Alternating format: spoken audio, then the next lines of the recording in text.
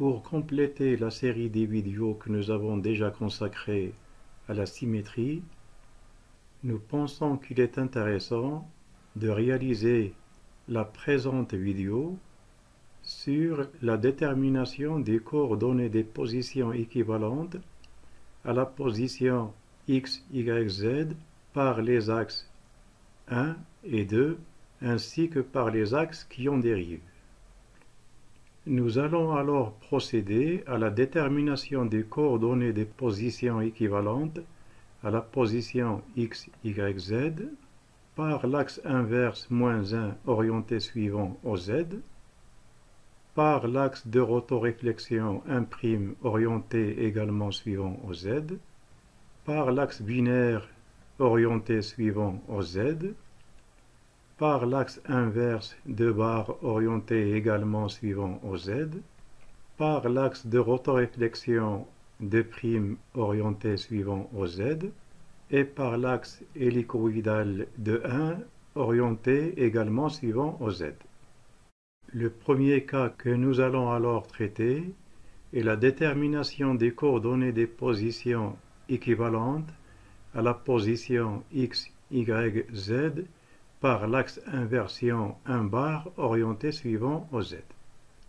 Mais avant d'entamer cette détermination, nous allons d'abord rappeler la définition des axes de symétrie d'ordre n, les axes de symétrie inverse n bar et les axes de symétrie de rotoréflexion n'. Un axe de rotation directe d'ordre n associe à un atome ou ion de coordonnées x, y, z n-1 atomes ou ions de même nature.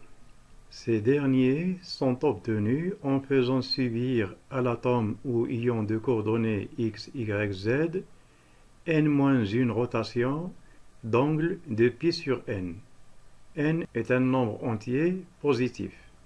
Ainsi, un axe direct d'ordre n lie entre eux n atomes ou ions identiques, qu'on obtient donc l'un à partir de l'autre en faisant une rotation de 2π sur n.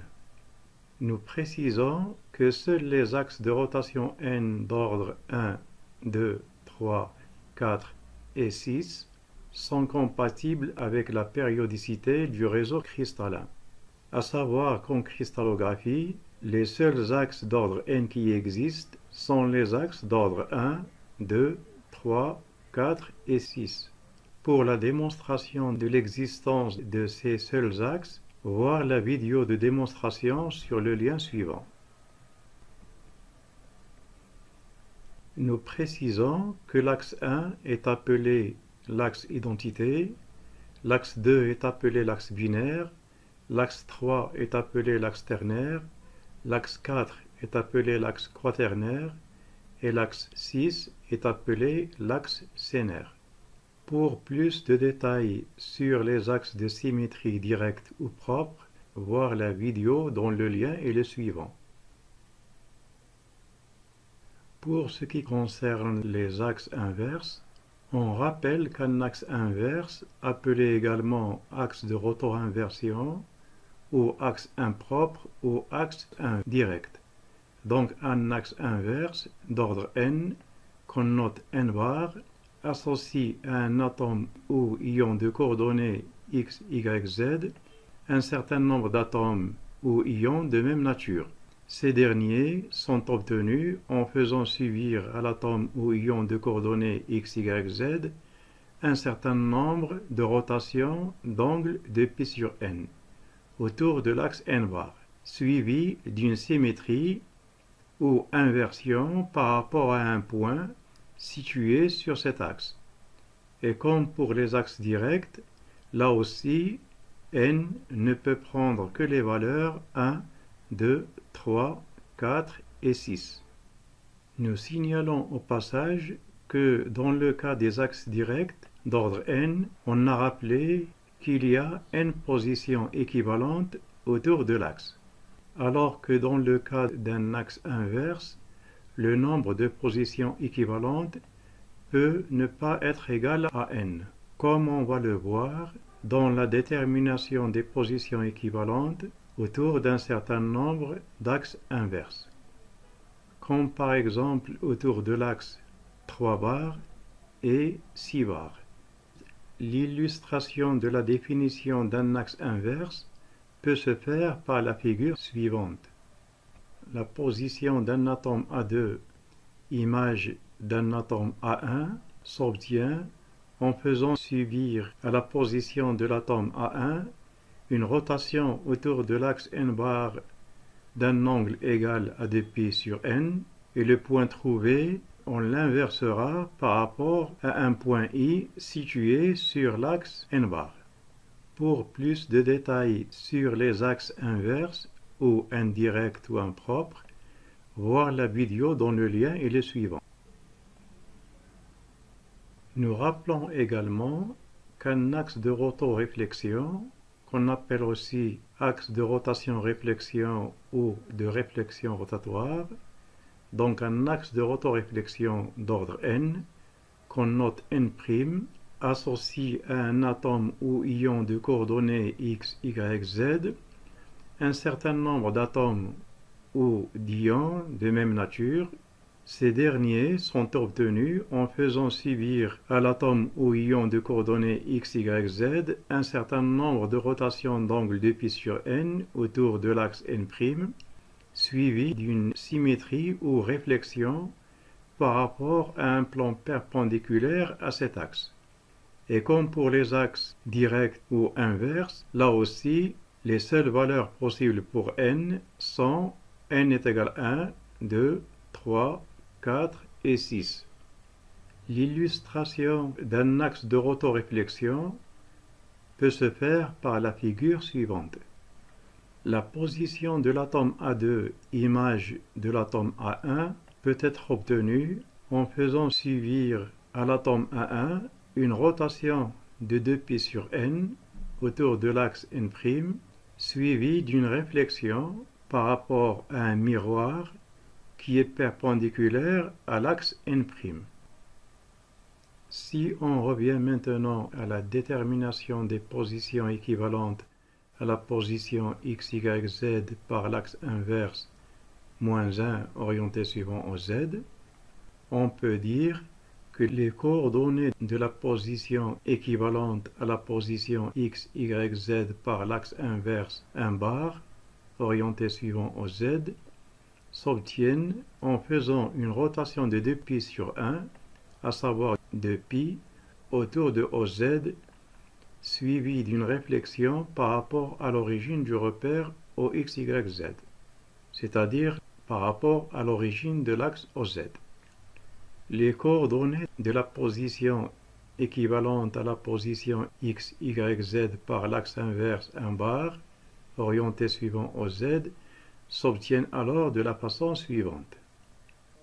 Si on fait subir à la position x, l'action de l'axe 1 parallèle à OZ, ce qui revient à tourner la position d'un angle de 2π autour de l'axe OZ, on revient sur la même position de départ x, y, z.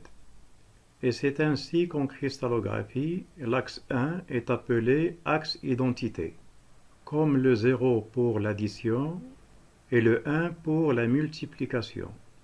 Comme on n'est pas en présence de l'axe 1 mais de l'axe inverse moins 1, il faut faire subir à l'image x, y, z l'inversion par rapport à l'origine du repère, qui est l'origine de l'axe OZ. La position qu'on trouve en effectuant cette inversion est la position x bar, y bar, z bar, qui n'est autre que l'inverse de la position x, z par rapport à l'origine du repère, donc de l'axe OZ.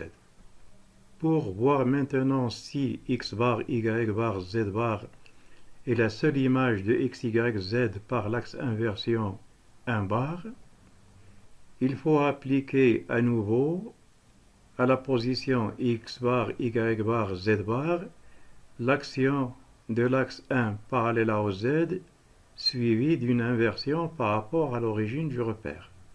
Ainsi, l'application de l'axe 1 nous laisse sur la même position x bar, y bar, z bar. Et en inversant cette position, on revient à la position initiale x, y, z. On conclut donc que la seule image de la position x, y, z par l'axe inverse 1 bar est x bar, y bar, z bar. L'axe 1 bar n'est autre qu'un centre d'inversion. Pour ce qui concerne l'axe de rotor-inversion 1', on démontre que la seule image de x, y, z par cet axe est x, y, z bar. L'axe 1' parallèle à OZ est alors l'équivalent d'un miroir qui est perpendiculaire à cet axe. Pour la démonstration détaillée de l'axe de rotoréflexion 1', voir la vidéo dont le lien est le suivant.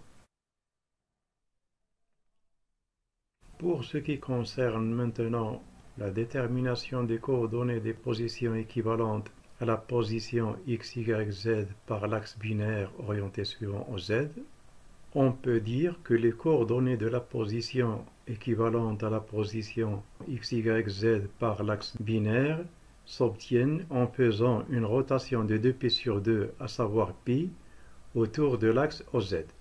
Ainsi, les coordonnées de la position équivalente à la position x, y, z par l'axe binaire parallèle à OZ s'obtiennent de la façon suivante.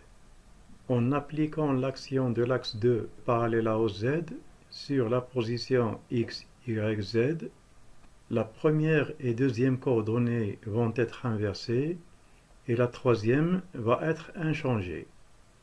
Et pour voir si la position de coordonnées x bar, y bar, z est la seule image par l'axe 2 de x, y, z, on doit faire subir à nouveau à la position x bar, y bar, z bar l'action de l'axe 2, pour voir si on revient à x, y, z ou bien à une autre position. En appliquant alors l'action de l'axe 2 à x bar, y bar, z, les deux premières coordonnées vont s'inverser et la troisième reste inchangée. L'image de x bar, y bar, z est alors x, y, z qui est la position initiale. Par conséquent, on en conclut que la seule image de la position x, y, z par l'axe binaire est x bar, y bar, z. Le passage de x, y, z à x bar, y bar, z peut se faire par la matrice suivante. En effet, en appliquant cette matrice à la position x, y, z, on trouve la position de coordonnées x bar, y bar, z. Et pour la démonstration de la matrice M2, voir la vidéo dont le lien est le suivant. D'un autre côté, pour la représentation graphique des positions équivalentes par l'axe 2, voir la vidéo dont le lien est le suivant. Pour ce qui concerne maintenant la détermination des coordonnées des positions équivalentes à la position x, y, z par l'axe inverse de barre orienté suivant z, on peut dire que ces coordonnées s'obtiennent en faisant une rotation de 2π sur 2, à savoir π, autour de OZ, suivie d'une réflexion par rapport à l'origine du repère au XYZ, à savoir par rapport à l'origine de l'axe OZ les coordonnées de la position équivalente à la position x, y, z par l'axe de barre parallèle à z s'obtiennent alors de la façon suivante. L'application de l'axe binaire orienté suivant OZ à la position de coordonnées x, y, z conduit à l'inversion des deux premières coordonnées. Quant à la troisième, elle reste inchangée. Et comme il s'agit de l'axe 2 bar et non pas 2, il faut appliquer à la position x bar, y bar, z l'action de l'inversion par rapport à l'origine de l'axe OZ. En appliquant alors cette inversion, on obtient la position de coordonnées x, y, z bar. Et si on applique à nouveau l'action de l'axe de barre à la position x, y, z bar, à savoir si on applique d'abord l'action de l'axe 2, puis de l'inversion. En appliquant maintenant l'action de l'axe 2 à la position x, y, z bar, les deux premières coordonnées vont être inversées et la troisième, à savoir z bar, va rester inchangée. Et de ce fait, on obtient donc la position de coordonnées x bar, y bar, z bar. Et si on inverse cette position, à savoir la position x bar, y bar, z bar, on revient à la position initiale x, y, z. On conclut donc que la seule image de la position x, y, z par l'axe inverse de barre est la position de coordonnées x, y, z bar. Nous signalons que l'image x, y, z bar de x, y, z par l'axe inverse de barre peut être obtenue par application de la matrice suivante. En effet, si on applique cette matrice à la position x, y, z, on trouve la position de coordonnées x, y, z bar. Nous rappelons qu'en cristallographie, z bar n'est autre que moins z. Pour la démonstration de la matrice M de bar, voir la vidéo dont le lien est le suivant.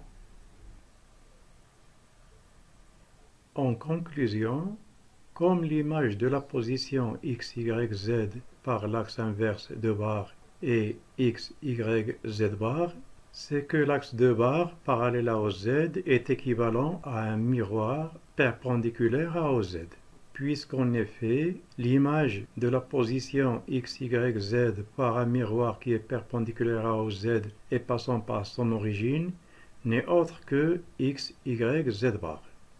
Finalement, pour la représentation graphique des positions équivalentes par l'axe inverse de barre, voir la vidéo dont le lien est le suivant. Pour ce qui concerne maintenant l'axe de rotoréflexion de prime, on démontre que l'image de la position x, y, z par cet axe n'est autre que x bar, y bar, z bar à savoir que l'axe de prime parallèle à Z n'est autre qu'un centre d'inversion situé à l'origine du repère OX, OY, OZ. Pour la démonstration détaillée de l'axe de rotoréflexion de prime, voir la vidéo que nous lui avons consacrée dont le lien est le suivant. D'un autre côté, pour la représentation graphique des positions équivalentes par l'axe de prime, voir la vidéo dont le lien est le suivant.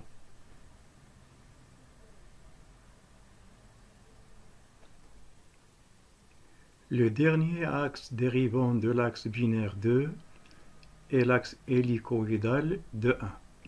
Mais avant de déterminer les coordonnées des positions équivalentes à la position x, y, z par cet axe, nous allons d'abord rappeler ce que sont les axes hélicoïdaux. Un axe hélicoïdal combine deux opérations de symétrie. D'abord une rotation autour d'un axe d'ordre n, plus ensuite une translation t parallèlement à cet axe. Un tel axe est noté n indice p, avec p sur n est ce qu'on appelle le coefficient de translation, de telle sorte que la translation t est égale à p sur n qui multiplie le paramètre de l'axe autour duquel on fait la rotation. L'illustration d'un axe hélicoïdal peut se faire par le schéma suivant. Les coordonnées de l'atome A2, image de l'atome A1 par un axe hélicoïdal n indice P s'obtiennent en faisant tourner l'atome A1 autour de l'axe hélicoïdal d'une rotation de P sur n comme s'il s'agit d'un axe d'ordre n direct et le point obtenu par cette rotation sera translaté de la translation t égale donc à p sur n fois le paramètre de l'axe np. À titre d'exemple, si ce dernier est l'axe OZ, son paramètre est C, et par conséquent la translation serait égale à P sur N fois C. Nous faisons remarquer au passage que le paramètre P est un entier qui peut prendre n-1 valeur entre 1 et n-1. Ainsi, les axes hélicoïdaux possibles sont en nombre de 11 et il s'agit de l'axe hélicoïdal de 1, des axes 3,1, 3,2, des axes 4,1, 4,2, 4,3 et des axes 6,1, 6,2, 6,3, 6,4 et 6,5. Si on revient maintenant à la détermination des coordonnées des positions équivalentes à la position x, y, z par l'axe hélicoïdal de 1 orienté suivant au z, on peut dire que les coordonnées des positions équivalentes à la position x, y, z par l'axe de 1 parallèle au z s'obtiennent en faisant une rotation de 2π sur 2, à savoir pi autour de OZ suivi d'une translation de 1 demi fois C, ce qui va conduire à ajouter 1 demi à la coordonnée Z. Les coordonnées des positions équivalentes à la position x, y, z s'obtiennent alors de la façon suivante. En appliquant l'axe de parallèle à OZ à la position x, y, z, les deux premières coordonnées vont être inversées et la troisième va rester inchangée comme il en était le cas pour les exercices précédents faisant intervenir l'axe 2. La position image a alors comme coordonnées x bar, y bar, z et comme il s'agit d'un axe hélicoïdal, la vraie image de x, y, z sera obtenue en translatant la position x bar, y bar, z de 1 demi suivant z.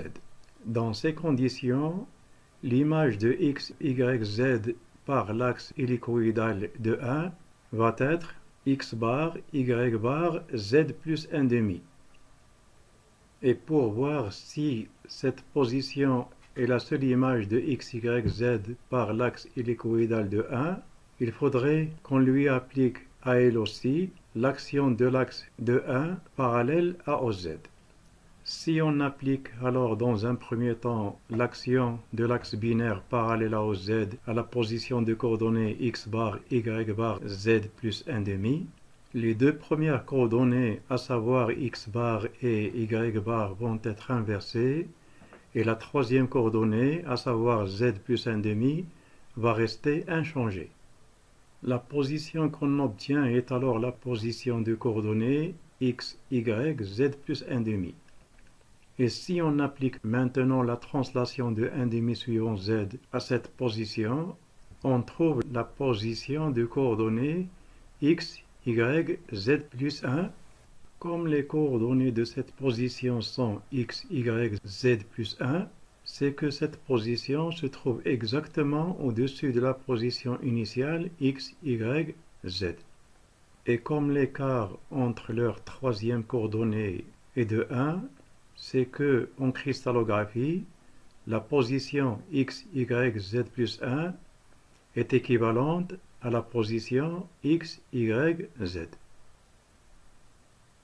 La seule image donc de la position x, y, z par l'axe hélicoïdal de 1 est la position de coordonnées x bar, y bar, z plus 1 demi. Comme on l'a signalé il y a un instant, en cristallographie, z plus 1 est équivalent à z, et de même, x plus 1 est équivalent à x, et y plus 1 est équivalent à y. Finalement, pour la représentation graphique des positions équivalentes par l'axe de 1, voir la vidéo dont le lien est le suivant.